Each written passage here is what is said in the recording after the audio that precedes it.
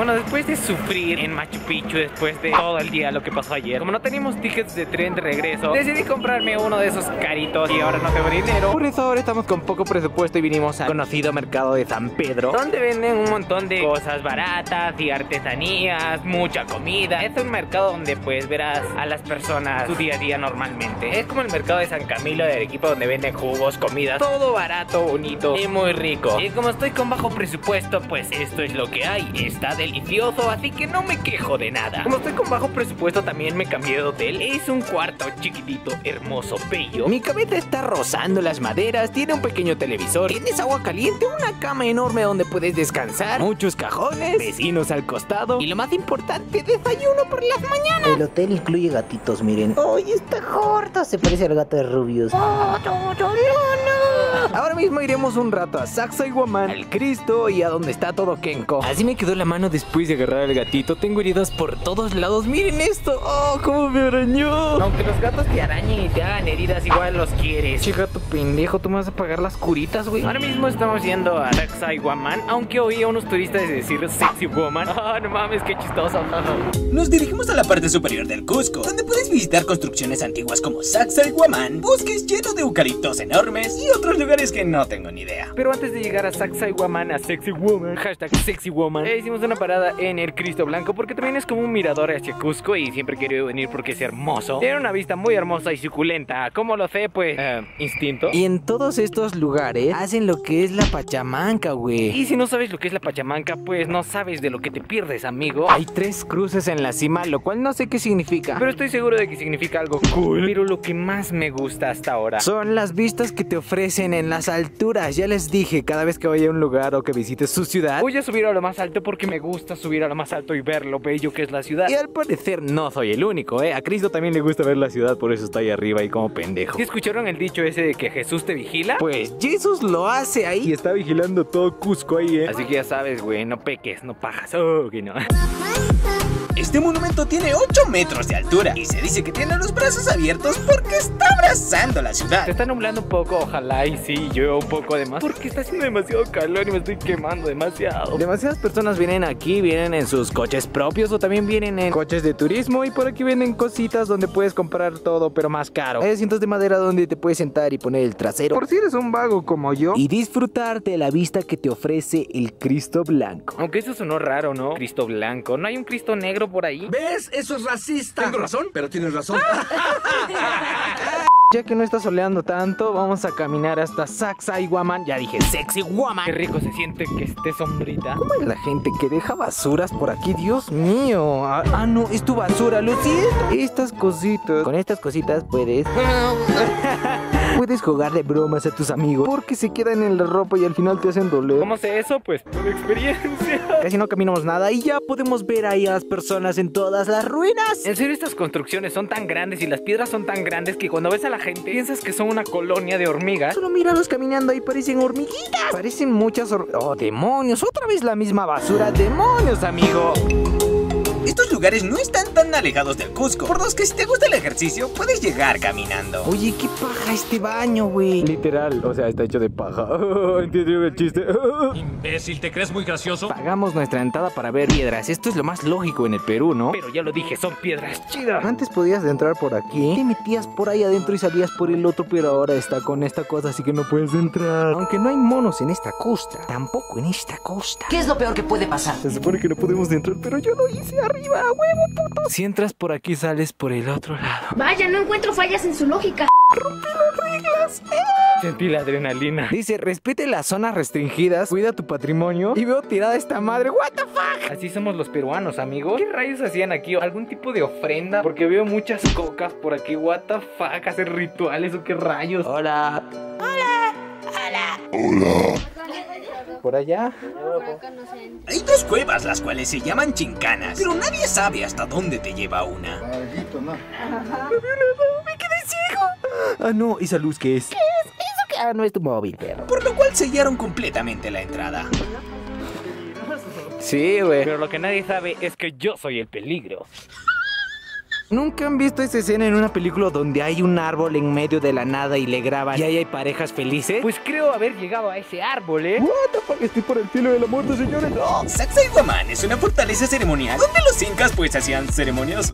Miren, un montón de hormigas y mi dedo ahí. No me toquen perros, no me toquen...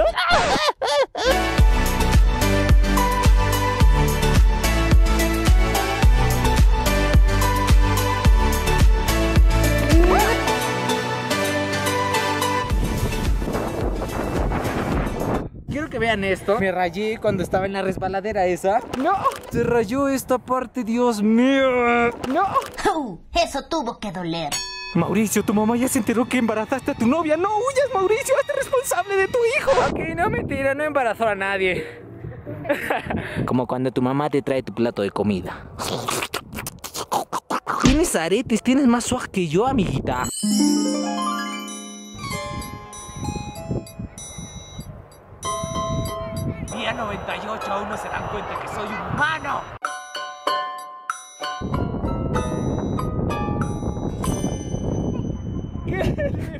¿Es en serio? No hay nadie en las ruinas. ¿Qué pasó? ¿Hay alguien aquí con vida? ¡Pueden escucharme! Soy el hombre más alto.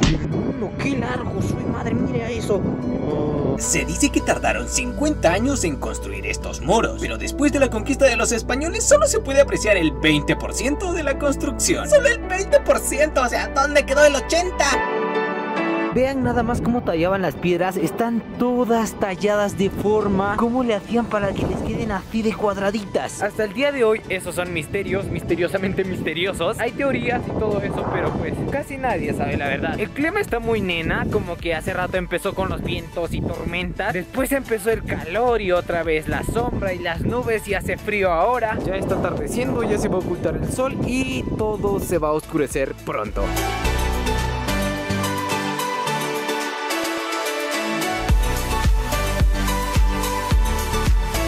Día siguiente tuve que levantarme muy temprano y desayunar muy bien porque nuestra siguiente parada sería la famosa montaña de siete colores. No manchen, vine al baño. ¿Y qué creen, güey? Todos están así. ¿Qué rayos, güey? Es como si yo estuviera sentado aquí y este men estuviera sentado aquí. No manches. Es el baño más what the fuck de la vida. ¿Qué? What the fuck? Vaya dato perturbador. Me tuve que levantar a las 3 de la mañana para estar aquí. Nos dieron esto a todo el grupo para que no nos perdamos con todo el grupo ahí que tiene también esta marca. Somos el grupo Arnold como ¡Arnold Schwarzenegger!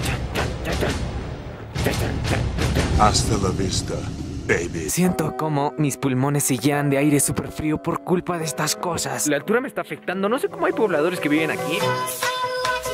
Estando a más de 4000 metros sobre el nivel del mar, no me extraña que haya nieve por todos lados. No, no, no, no. Estoy orinando, ni. No. Parece una esfera de dragón con cuatro estrellas. En serio que con esto estoy reteniendo un poco. Todo el mundo ya se fue, ya nos abandonaron. ¿Cómo están lentos? Madre mía, Willy. Miren nada más las montañas que hay atrás de mí. Pero con fe llegamos a la cima y pues habré tachado una de las rutas, uno de los lugares a los que siempre he querido ir. Está soleando demasiado, pero está haciendo un frío de todas maneras igual. Y atrás viene un montón de gente. A ver, si pagamos 40 soles para ver ruinas, también tenemos que pagar para huir al cerro. Y para que los pobladores te lleven sus caballos, te puede llegar a costar desde 70 soles. Claro, el precio varía conforme vas avanzando. Me han ofrecido varias veces subir en caballito, pero creo que es mejor hacerlo a pie, ¿no? Además, los caballitos también se cansan. Pobrecito, míralo. Esta es la única manera en que los pobladores de aquí se ganan el dinero, el sustento, ya que el turismo es la única fuente que tienen para, pues, ganar su dinero. El agua debe estar helada, pero el caballo ya está acostumbrado, seguro. Hay un montón de alpacas llamas por todos lados. No sé cómo es que soportan la altura, en serio. Se paran paseando por todo este lado. Yo ya no puedo más. Dios mío, me voy a morir aquí. En serio, mis pulmones están siendo atacados por el frío. Hay un montón de nieve y miren esto. ¡Oh! Mi mano hacia adentro, estoy adentro. Ay, hay un montón de nieve que es. Las borreguitas están rebuscando las cosas de las personas que ven aquí. Miren cómo se sacan esas cosas. Miren, miren cómo intenta abrirlo. Y el otro se acaba de robar su pasto.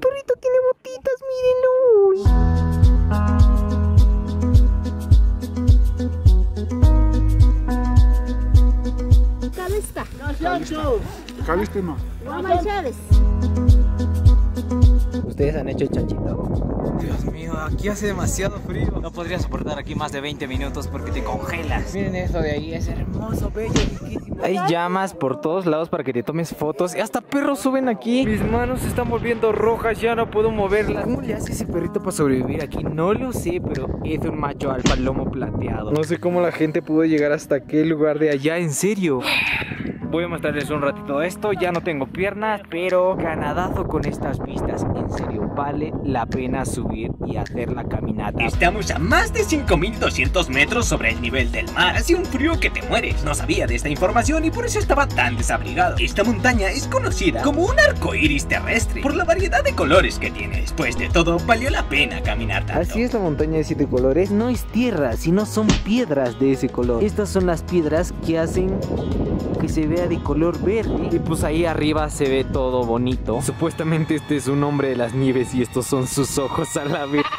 Estas son mis primeras impresiones, ya estamos bajando, descendiendo. Lo primero que tienes que hacer es llevar mucha ropa porque sí hace un montón de frío ahí arriba. Lo digo porque me empezó a doler la cabeza, me empezó a doler el pecho, me empezó a doler el corazón. Además les voy a contar una anécdota bien graciosa. Se me acerca un guía y me dice, señorita. Señorita, señorita, y me agarra y yo así de, no mames, yo. Soy vato, espero que quede claro que soy vato, o sea. Ahí atrás está el guía que me confundió con una chica. Lo bueno es que ya estamos bajando de nuevo. Y pues yo me quedaría hasta el día de mañana y me voy a Puno, voy a visitar algunos lugares de por allá. Día siguiente me fui a Siyustani, un lugar ubicado a 33 kilómetros de la ciudad de Puno, donde se encuentran enormes tumbas en las cuales se enterraban a las principales autoridades de ese entonces. Esa isla se parece a... ¿Cómo se llama esto que está en...? Oh, sí, me recordó al monolito de Uluru en Australia. Oh, enterraban aquí a los muertitos. Se va a romper esto en cualquier momento. Está rompiendo así como tu corazón se rompe. Oye, tranquilo, viejo. Dice prohibido subir, no dice prohibido meterse de adentro.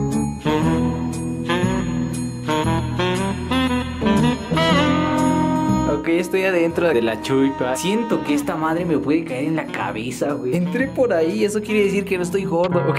no? Wow, está sostenido solo por un palito. Los incas sabían lo que hacían. ¿Quieres droga, niña? Cosas. Hay fantasmas aquí adentro, una mentira. Me quedé encerrado ahí en ese vasito de Starbucks. Estas piedras son, creo que con lo que hacían las chulpas. Las entradas para ver estas cosas estaban 15 soles. 15 para ver ruinas. No sé cómo le hacían las piedras así. ¿Cómo le hacían? ¿Y sabe qué hay adentro o qué? Sí, se colocaban las momias. pues. Pero mire esa afinidad de las piedras. Ah, pero del otro lado.